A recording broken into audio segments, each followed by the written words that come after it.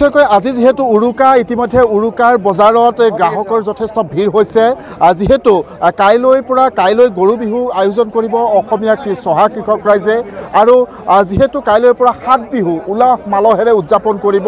আৰু গৰু বিহু বিহু বুলি ক'লে গৰু চাটৰ কথা মনলৈ আহে।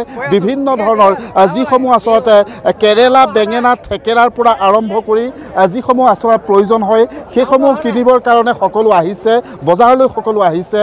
আৰু আজিৰ বজাৰত আজিৰ যি উৰুকাৰ বজাৰ সেই উৰুকাৰ বজাৰত ইতিমধ্যে উৰুকাৰ বজাৰত আজি আমি আহিয়ে এটা কথা গম পাইছোঁ যে থেকেৰাৰ দাম যথেষ্ট বেছি থেকেৰা কেৰেলা। থেকেৰা একো একোটা থেকেৰাত চল্লিছ টকা পৰ্যন্ত হৈছে আৰু কেৰেলাৰ কিলো এশ বিছ টকাৰ পৰা এশ পঞ্চাছ টকা পৰ্যন্ত হৈছে।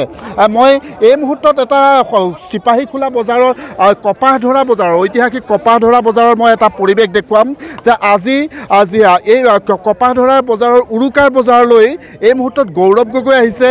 আহ, গৌৰৱ গগৈ ইতিমধ্যে বজাৰ কৰাত ব্যস্ত হৈছে আৰু যিসকল ইয়াৰ ব্যৱসায়ী আৰু যিসকল গ্ৰাহক গ্ৰাহকসকলৰ লগতো মত বিনিময় কৰা পৰিলক্ষিত হৈছে। মই এই পৰিৱেশটো দেখুৱাইছোঁ। ইতিমধ্যে এয়া হৈছে যোৰহাটৰ ঐতিহাসিক কপাহধৰা বজাৰৰ দৃশ্য। কপাহধৰা বজাৰত ইতিমধ্যে গৌৰৱ গগৈয়ে এনেধৰণে ইয়াতে বজাৰত আহি উৰুকাৰ বজাৰত আহি বিভিন্নজনৰ লগত কথা বতৰাত মিলিত হৈছে আৰু বজাৰৰ যিসমূহ আচলতে সামগ্ৰী পাচলিৰ পৰা আৰম্ভ কৰি যিসমূহ সামগ্ৰী সেই সামগ্ৰীসমূহ ইয়াতে তেওঁ আচলতে তাৰ দামৰ বুজ ল'বলৈ তেওঁ চেষ্টা কৰিছে যথেষ্ট সংখ্যক লোকে। কিন্তু বজাৰতো এটা কথা দেখিবলৈ পোৱা গৈছে গৌৰৱ গগৈৰ লগত যি আচলতে সাধাৰণ লোকৰ চেলফি সেই চেলফি ইতিমধ্যে ইয়াতো দেখিবলৈ পোৱা গৈছে। মই গোটেই দৃশ্য দেখুৱাইছোঁ ইয়াতে বজাৰৰ মাজতে কোনোৱে যদি চাহ চাহপাতৰ এটা পেকেট দিছে।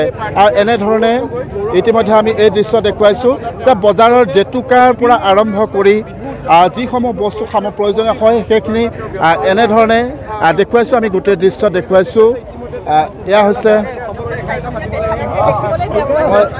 ইতিমধ্যে দেখুৱাই দেখুৱাইছোঁ যে সকলো সকলোৱে কিন্তু এই মুহূৰ্তে বেৰি ধৰিছে। সকলোৱে সকলোৱে ইতিমধ্যে মই এয়া কপাহ ধৰা বজাৰৰ দৃশ্য। দাদা আজি বজাৰত আজি যিহেতু উৰুকাৰ বজাৰ বজাৰৰ ৰাইজৰ লগত কথা বতৰা হৈছে।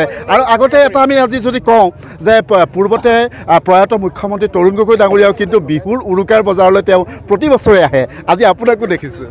না হয় আপুনি ভাল মনত পেলালে যে তেওঁ উৰুকা বজাৰ মানে উৰুকা দিনত তেওঁ গুৱাহাটী হ'লেও গুৱাহাটী বজাৰলৈ যায় বা আমাৰ বেলতলা বজাৰলৈ যায় বা যোৰহাটত আহিলে যোৰহাটৰ বজাৰলৈ যায়। আজিও আমি ইয়াত আহিছোঁ সকলোক সুধি আছোঁ কেনেকৈ চলি আছে কেইটা বজাত আমাৰ ব্যৱসায় কৰা মানুহবোৰ আহিছে মানুহবোৰ লগ পাইছোঁ। এটা ভাল এটা পৰিৱেশ সকলোৰ কাৰণে অসমীয়া নৱবৰ্ষ তেওঁলোকৰ ঘৰত শান্তি সম্প্ৰীতি লৈ আনক। আৰু আগন্তুক ৰঙালী বিহুৰ উলহ যাচিবলৈ এটা ভাল সুবিধা পাইছে চবকে। কিন্তু বজাৰত যথেষ্ট সামগ্ৰীৰ দাম আজি দেখিবলৈ পোৱা গৈছে। থেকেৰা বেঙেনাৰ পৰা আৰম্ভ কৰি সকলোৱে বস্তুৰে আজি দাম কিন্তু যথেষ্ট হৈছে। এতিয়াতো মানুহে সেইখিনি বুজি পাইছে আৰু কিন্তু বিহু আনন্দত এতিয়া ঘৰৰ এই আজিৰ তাৰিখটো আৰু চবেই সেইখিনি পাহৰি গৈছে। কিন্তু নিশ্চয় আজি বিহু সম্পৰ্কত আজি এটা আনন্দ এটা সময়ত। যদিও বস্তু বাহিনীৰ দাম যথেষ্ট বাঢ়ি গৈছে মানুহ ইমান ফূৰ্তিত আছে উৎ- উৎসাহিত হৈ আছে আমাৰ লগত ফটো তুলিছে। তো আজিৰ দিনটো আৰু এইবোৰ চব আমি মাফ কৰিছোঁ আৰু পাহৰি গৈছোঁ। কিন্তু সদায় যদি এনেকৈ থাকে তেতিয়া নিশ্চয় ল'ৰা ছোৱালীবোৰ কেনেকৈ মা দেউতাক খুৱাব পাৰিব সেইটোতো চিন্তা এটা থাকিবই আৰু। কিন্তু চেলফি পৰ্ব ইয়াতো চলি আছে। আজি বজাৰতো কিন্তু আপোনাৰ লগত চেলফি নাই সেইটোৱে মই কৈছোঁ। এইটো মানে আমাৰ এইটো চেলফিৱালা কেম্পেইন আৰু। মানে গোটেই কেম্পেইনত মানে চেলফিয়ে কৰি দি আছোঁ। বেছি বক্তৃতা দিবলৈ হোৱা নাই। লাহে লাহে মই আগতে আৰম্ভণিত বিছ বিছ মিনিট বক্তৃতা দিছিলোঁ। এতিয়া দহ মিনিট বক্তৃতা দিছোঁ। এতিয়া লাহে লাহে পাঁচ মিনিটলৈকে আহিছোঁ আৰু মই। ধন্যবাদ জনাইছোঁ। বজাৰ আমি বেলেগ বেলেগ শাক পাচলি চাহ পেকেট লৈছোঁ আমাৰ বিলাহী আদা নহৰু চব আৰু ঔটেঙা চব আমি মি- এটা মিক্স এটা লৈ। আপুনি যিহেতু খাই ভাল পায় ৰখা খাদ্য ৰসিক মানুহ বজাৰত বিহু বুলিলে আচলতে গাহৰি হওক হাঁহ হওক খুব চাহিদা আছে। কেনেকুৱা প্লেন কৰিছে? নাই খাইটোতো মই ভাল পাওঁ কিন্তু এতিয়া সেইটোৱে ৰান্ধনি বিচাৰিব লাগিব এতিয়া আৰু মইতো মোৰ ঘৰত কোনো নাই এতিয়া তো ৰান্ধনি কোনোবা বিচাৰিব লাগিব আজি ৰাতিৰ কাৰণে আৰু। নিশ্চয়কৈ এয়া আছিলে গৌৰৱ গগৈ।